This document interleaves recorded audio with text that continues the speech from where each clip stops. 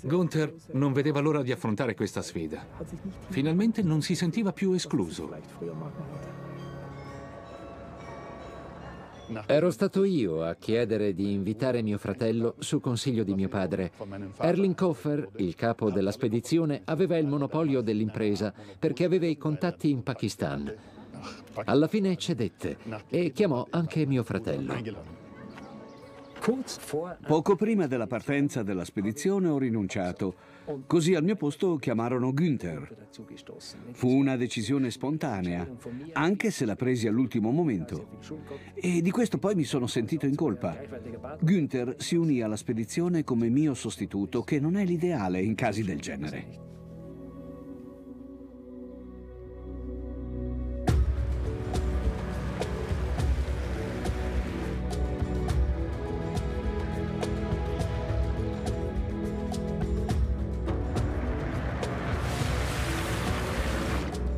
C'erano molte aspettative su quella spedizione perché i migliori alpinisti tedeschi del tempo avevano tentato e avevano fallito.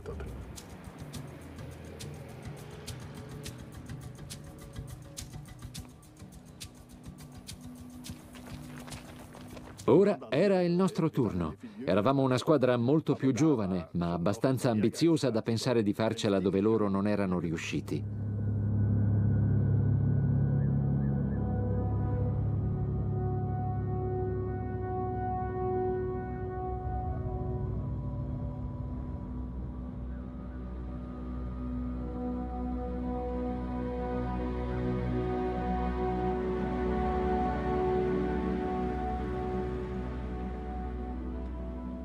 Conoscevamo tutti le gesta di Bull sul Nanga Parbat. Sapevamo che la Rupal era una parete considerata impossibile, ma tra l'ascesa di Bull e la nostra erano passati 17 anni.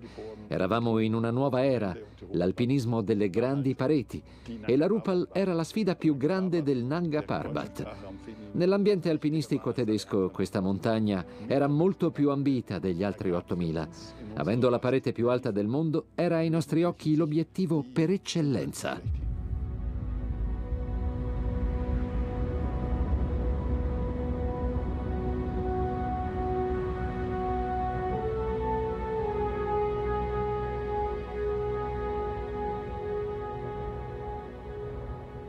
Ero attratto da imprese che avessero qualcosa di particolare. Se mi avessero invitato a unirmi a una spedizione sulla via normale dell'Everest avrei rifiutato.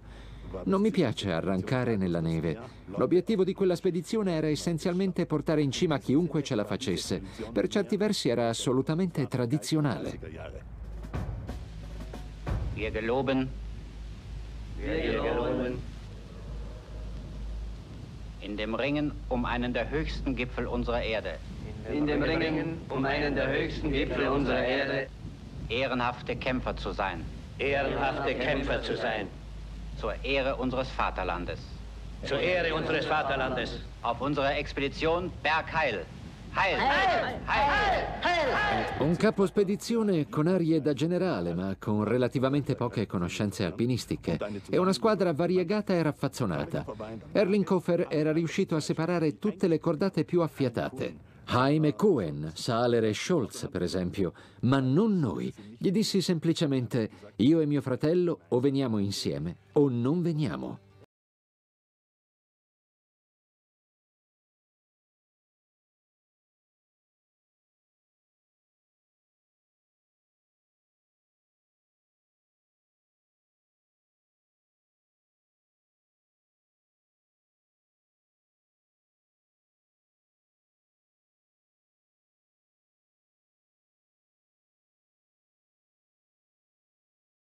Del Nanga Parbat qualche volta si era parlato della possibilità di aprire una scuola di alpinismo o un'altra attività professionale del genere, ma non ne avevamo mai discusso bene prima. Sul Nanga Parbat tutto ci sembrò possibile. Stavamo conoscendo tanti alpinisti famosi che erano con noi nella spedizione e che l'avevano fatto. Noi eravamo ancora giovani, ma ci parve subito di essere in grado di fare tutto ciò che facevano loro. Soprattutto eravamo capaci quanto loro di interagire con la natura maestosa.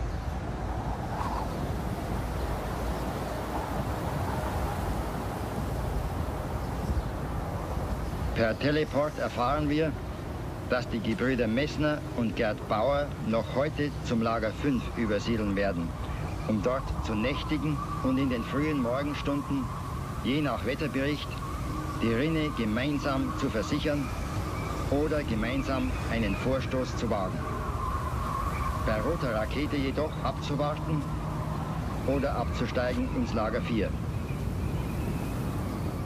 Ovviamente io dissi, Erling Koffer si è assolutamente inventato tutto di sana pianta. C'è qualcosa sotto, è chiaro.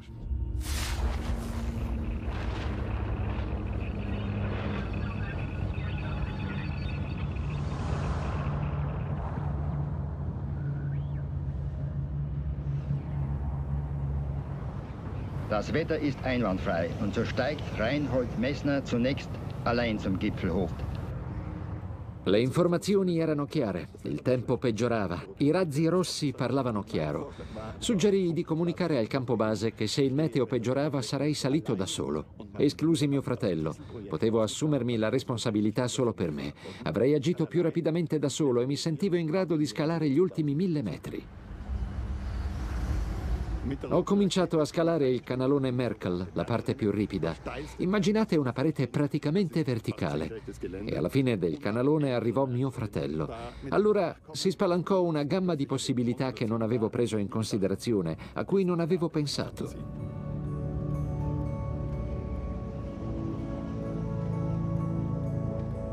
Quando Günther mi raggiunse, gli dissi che sarebbe stato molto pericoloso. Ci confrontammo brevemente, quasi solo con gli sguardi. Lassù non si parla molto. Ce la possiamo fare.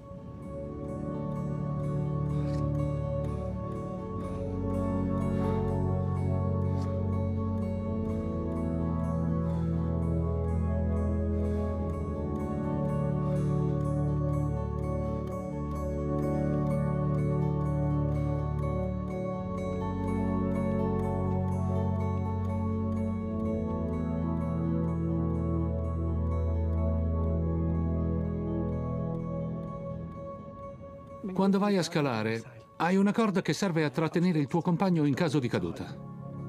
Mio fratello sarebbe riuscito a calarsi in doppia, ma non era in grado di scendere arrampicando. Avendo superato velocemente un dislivello di mille metri per raggiungermi, era sfinito. Cominciava ad avere i sintomi del mal d'altitudine. Aveva deciso di seguirmi probabilmente perché non voleva rinunciare a un passo dalla vetta.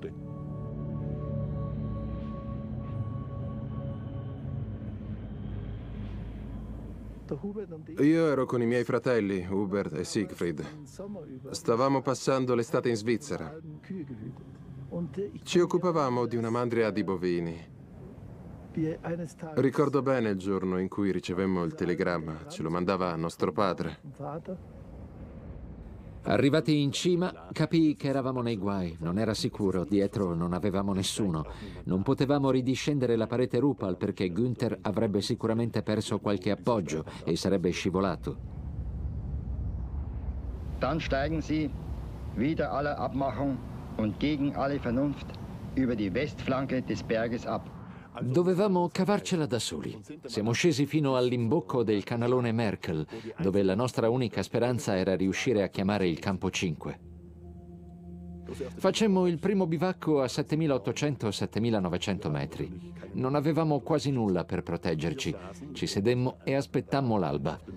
Quando vidi quanto era piccola la parete nel canalone Merkel, mi spaventai, perché pensai che da lì nessuno poteva salire e a noi serviva una corda per scendere. A un certo punto avvistammo Cohen e Scholz. Ero sicuro che fossero saliti per portarci la corda perché avevano sentito le nostre grida di aiuto. Non mi passò neanche per la testa che stessero attaccando la cima. Quando tentarono di raggiungerci, capii che non ci sarebbero riusciti. Dovevamo cavarcela da soli. Sarebbe stato peggio se avessero tentato di raggiungerci a ogni costo e fossero precipitati.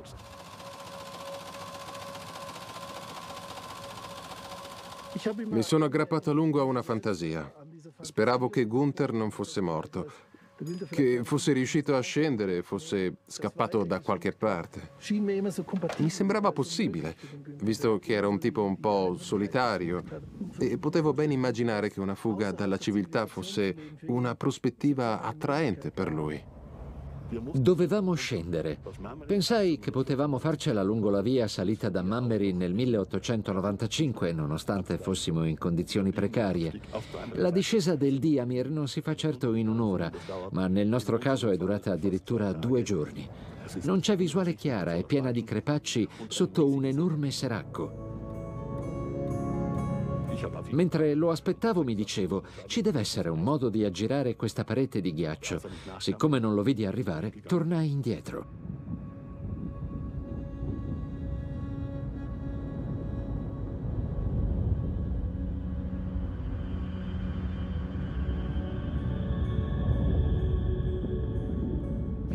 In montagna bisogna mantenere il contatto visivo, o almeno essere in grado di udire le grida del compagno.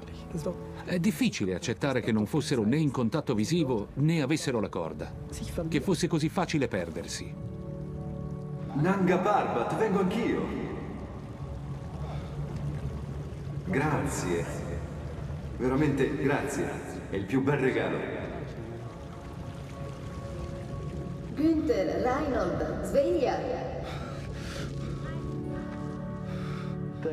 Il telegramma diceva Günther è morto.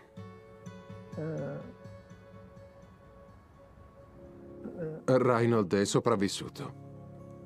Conteneva solo queste due frasi. Non riuscivamo a capire. Come puoi perdere tuo fratello? Quando arrampicavamo sulle Alpi ci dicevamo sempre che non saremmo mai morti in montagna, non noi. Eravamo arroganti, ma per noi era così.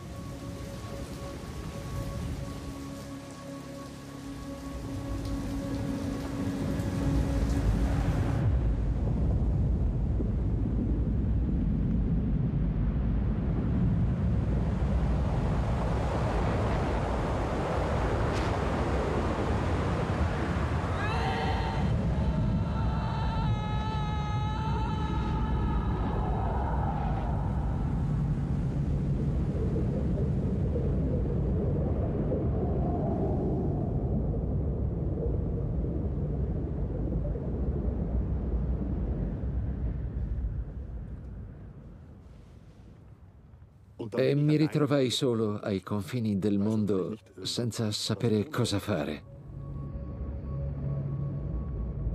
All'improvviso il mio miglior compagno di cordata, mio fratello, il mio complice di avventure estreme, da un minuto all'altro non c'era più. Sentivo di avere una responsabilità. Dovevo riuscire a tornare a casa per raccontare ai nostri genitori cosa era davvero accaduto.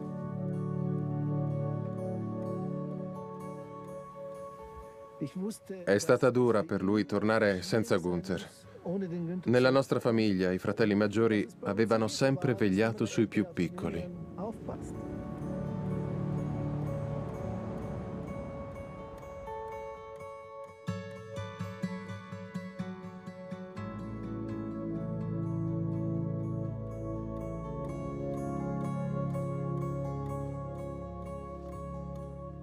Penso che papà abbia sempre rimproverato a Reinhold di non essere riuscito a riportare a casa nostro fratello. Mia madre soffriva profondamente, ma ha anche condiviso con me il dolore della perdita.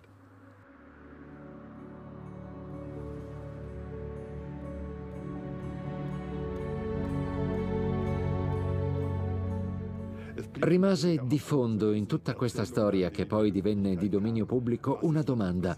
Che cosa è accaduto davvero a Günther? Il dubbio di come erano andate veramente le cose rimase anche ai miei fratelli e ai miei genitori. È proprio la morte in sé, quel senso di vuoto che un lutto ti lascia in qualche modo quando ti tocca da vicino. Ti fa sembrare la morte così vicina.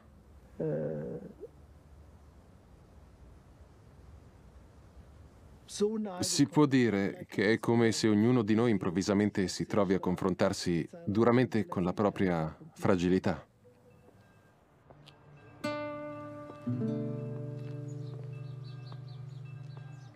Mamma era una donna molto positiva. Fu capace di rielaborare la cosa molto prima di noi, grazie al suo incrollabile ottimismo che non l'abbandonava mai.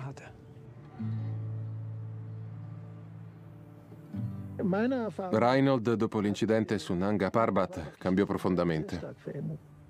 Sapevo solo che volevo abbandonare il mondo civile e vivere la vita che avevamo sempre sognato io e Günther. Arrampicare in montagna, vivere una vita selvaggia, avventurosa. Questo era il nostro progetto di vita. E ora sentivo che era divenuta un'esigenza ancora più forte, più determinata.